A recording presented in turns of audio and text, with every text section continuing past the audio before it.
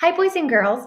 It is Tuesday, and today we are going to continue our Earth Day theme, and we are going to read a book about Earth Day. So, this is one of the little readers that we would probably read if we were sitting in a circle on the carpet, or you would read with me at the back table. This is an AR book. The code is 109440, and I will put that underneath the video for you at the end so you can take an AR test on this.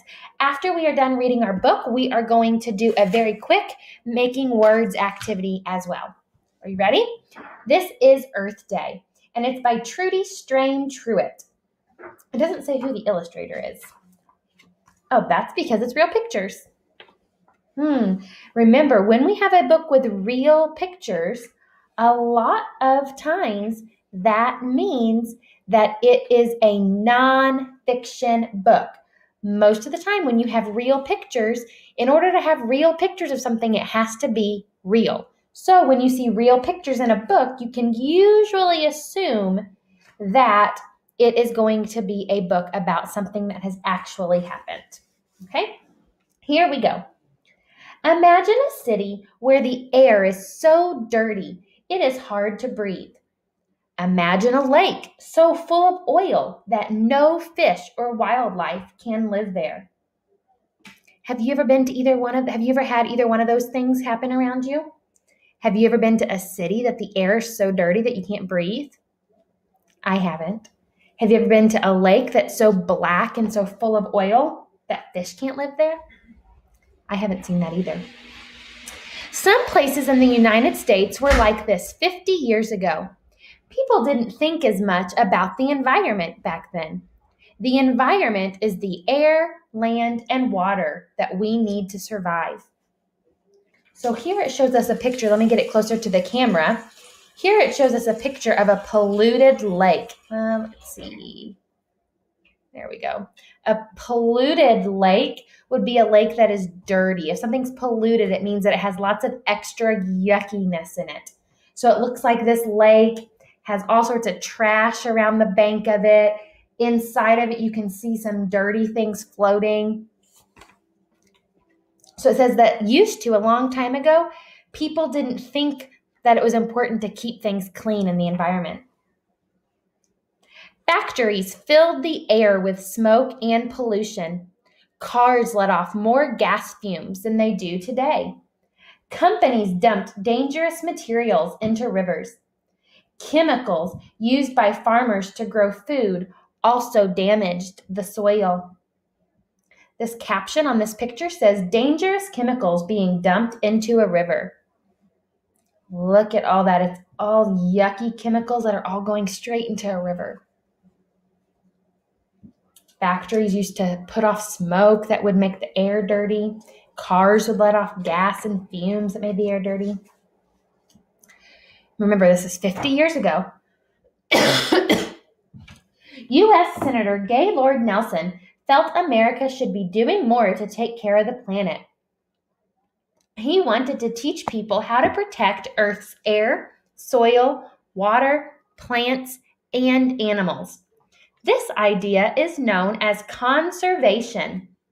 So, this is a senator, it's someone who's a politician who works in the government, and his name was Gaylord Nelson. And he thought, enough is enough. I am ready to teach people that they need to keep our country, our planet, our earth, our environment clean. He said that it, he wanted to protect the air, the soil, which is like the dirt on the ground, water, plants, and animals. And if you're taking care and protecting all of those things, that is called conservation. Senator Nelson wanted to get more young people interested in conservation, so he created Earth Day. The first Earth Day was held on April 22nd, 1970. So that's 40 years old. This Wednesday, yes, this Wednesday, tomorrow, will be Earth Day, and it will be the 40th Earth Day that our country has had.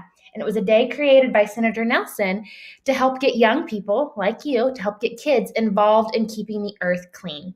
He thought, you know what? The, el- the adults already do all the pollution and already make the planet dirty. Let's teach the kids how to keep it clean so that they don't do it whenever they get to be adults.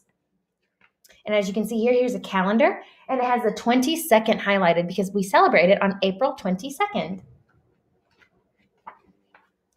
Millions of students took parts in marches. They gave speeches and they asked the world leaders to take action to save the environment. So here's some students saying, Don't vandalize the earth. It says children today continue to celebrate Earth Day with parades. At school in first grade, when we're in our classroom, we usually celebrate Earth Day by doing a big recycling project. And recycling is one way that we can help the earth by not throwing making so much trash. Earth Day made a difference. Laws were passed to protect the environment. Car makers had to build cars that created less pollution. Many harmful chemicals were outlawed. So people finally started listening. They said, okay, and people started making cars that didn't make as much dirty gas. They also started to say, uh uh-uh, you're not allowed to use these bad chemicals. It says electric cars are good for the environment. So, some cars, maybe your family has one. I've never actually been in one or seen one, but some cars have to be plugged in. Just like you plug in a lamp or you plug in a tablet to charge or you plug in a TV, some cars have to be plugged in at night in your garage. Cities began to recycle. People turned in people turned in used paper, glass, and plastic. These items were later made into new products. Boxes, bags, and packing materials are all things that can be reused. Look at this word right here. Cities began to. Do you see that word that I'm pointing to? That's recycle.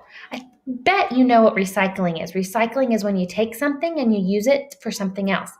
Like this water bottle I just happen to have sitting here might not have been a water bottle to begin with. This plastic might have been made on a toy or something, but you can recycle things like plastic and make new things with them.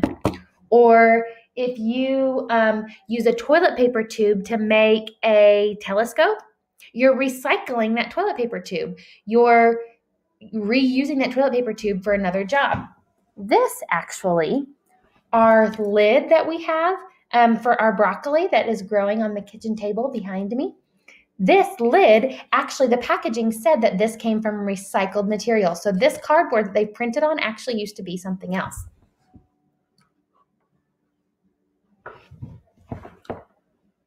Okay. So this shows kids here recycling. Ways to celebrate. Most nations around the world celebrate Earth Day. Children in Australia pick up lit- litter or trash along beaches. Do you know what litter is? If you're driving down the road and you see trash along the side of the road, that's litter. People in the United States and Canada plant trees. So, in different places across the world, people celebrate it a little differently. This tells us that in Australia, the main thing that they do is pick up litter along their beaches. So children from school go and they pick up litter one day. A lot of times in the United States and in Canada, kids plant trees on Earth Day. Um, when you're in maybe fourth or fifth grade, you'll get to go to something that's called a conservation fair, and you usually get a little tree to plant at that fair. This picture caption says, Planting a tree on Earth Day. Those friends are working together to plant it. Russian students plant vegetable gardens. They learn to grow food without using harmful chemicals. So you can also start a garden for Earth Day. That's a, a way to take care of the earth. Growing lettuce in a garden is what that caption says. That's what that little boy's doing. Does that look like the lettuce that you eat? It does, doesn't it? Some families talk about ways to take care of the environment on Earth Day. They may agree to turn off the water when they brush their teeth or to take shorter baths and showers. These steps save or conserve water. And here's a little boy brushing his teeth, and underneath it, it says, You can save water while brushing your teeth. Family members might remind each other to recycle printer cartridges. Old computers, cell phones, and some batteries can also be recycled. So, does anybody have a drawer at their house that has all sorts of cords and remotes and phones and maybe keyboards? We used to have a drawer like that in our garage that just had all sorts of other random broken or unused electronics. By recycling electronics, that is also a way to conserve and recycle and help take care of the earth. Those are really old phones. You have probably never seen some phones like that. This is actually an old phone. This is an old phone, and that's an old phone. They used to look like that whenever I was little. Now they look much different. You've all seen phones like this now.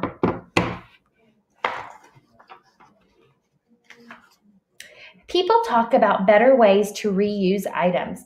Empty tissue boxes are good for storing many different things. Old milk jugs are perfect for watering plants. Paper gift bags and bows can be used again. This says a planter made from a milk carton.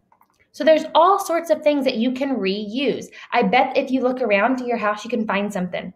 It says that you can reuse tissue boxes. And you can put you can store stuff in them. You can use milk containers to help water plants. Um, it says you can use gift bags and bows again. We have a container at our house that we put gift bags and wrapping paper and bows in that can be reused.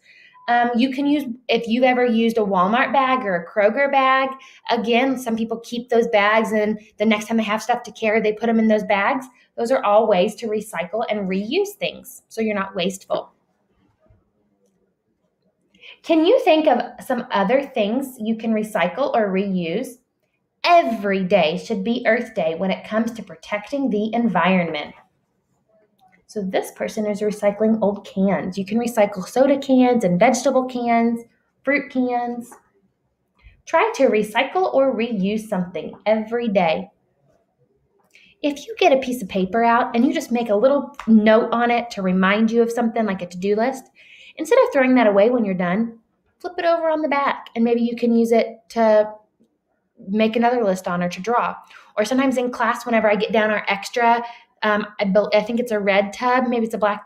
I think it's a red tub. When I say, hey, will you go put this in the red tub? When I have extra worksheets that I pass out, if I have extras, I put them in that red tub.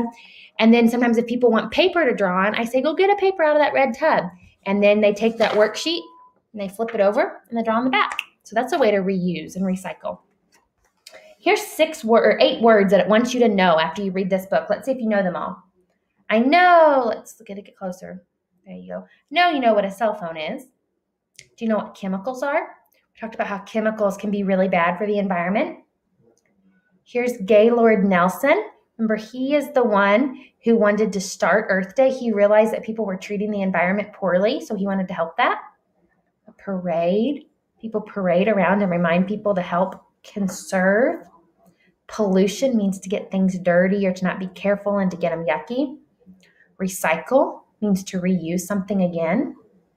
You know what a tree is. We can plant trees to help for Earth Day because that gives more oxygen to the air. And vegetable garden. It's great to grow your own vegetables or fruit.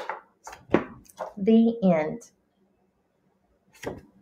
It says that uh, our author, Trudi, is a former television news reporter and weather forecaster. She has written more than 30 fiction and nonfiction books for children. She lives in Seattle, Washington with her husband, Bill. So, and here's all the other books that she has written. And it looks like she writes a lot of books about holidays to teach about holidays. So that is our story on Earth Day. I hope that you will take an AR test on this book. Like I said, the code is 109440, but I will put that underneath this video as well. So you have two jobs for me. One is to take an AR test on this book, and two is to find something around your house that can be recycled and use it again. And if you think of a really creative thing to do, send me a picture of it so I can see. All right? The last thing that I want to do with you, I'm going to do in another video, but we are going to make some words out of the word planet Earth. So get a pencil and a paper and join me for the next video. Okay? I'll see you in just a minute.